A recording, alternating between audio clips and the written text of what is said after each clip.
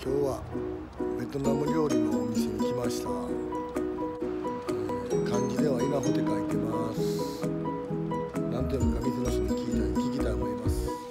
お店の中はこんな感じです。ベトナムの食材もたくさん置いてます。普通の家をお店にした感じになってます。メニューです。住所はここに載ってる通りになってますんでよろしくお願いします。ドリンクメニューです。アルコールドリンクソフトドリンク結構豊富に載ってますので見てください、えー、サラダが今載ってます。結構サラダも種類があって美味しそうです。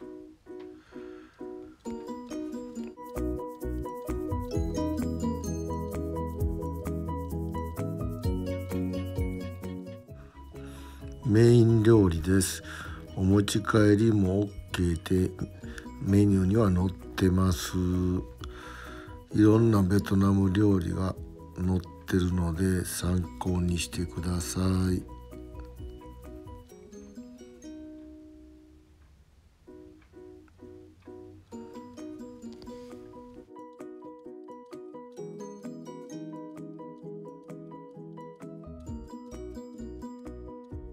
フォーのメニューです。フォーも持ち帰りがあるみたいです。いろんな鶏肉なり牛肉なりのフォーのメニューがあって美味しそうです。他の麺もちょっと辛そうな麺もあって辛いもん好きの人にもたまらないかもわかりませんね。麺については米粉で作ってるので大変ヘルシーなになると思うんで女性に人気みたいです